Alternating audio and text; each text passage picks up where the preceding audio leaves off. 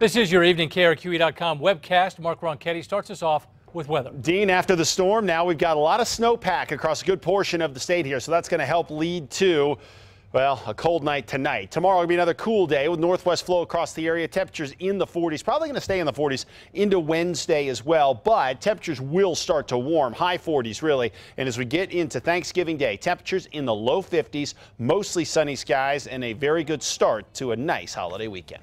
All right, Mark, thank you. A semi truck driver was a danger on the road during yesterday's snowstorm, and our cameras were rolling as he almost hit an officer. Oh,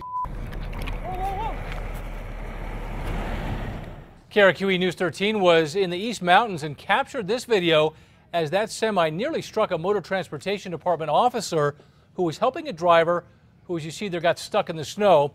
And as you can see, the driver and the officer managed to get out of the way just in time, just as that semi barrels through. Now, we learned that a short time later, that same semi did hit another car and took off. Now, police are looking for the driver, and we're told our video will be used to try to track him down. They hope to get the truck's DOT number to find him. A district judge has sided with Hanna Skandera over the unpopular teacher evaluations. Scandera changed how teachers are evaluated by basing 50% of the evaluation on student test scores. Upset teachers, parents, even a few local lawmakers tried to block that new evaluation system with a lawsuit. They argue the evaluations are unfair and claim that Skandera did not have the power to put those evaluations in place but an Albuquerque district judge shot down that lawsuit.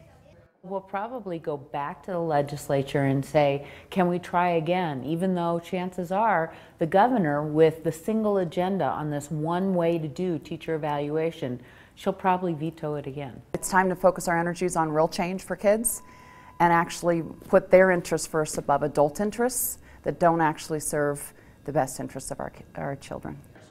Despite the criticism, Skandera says the evaluation system will produce results. Join us for more news tonight on KRQE News 13 at 10.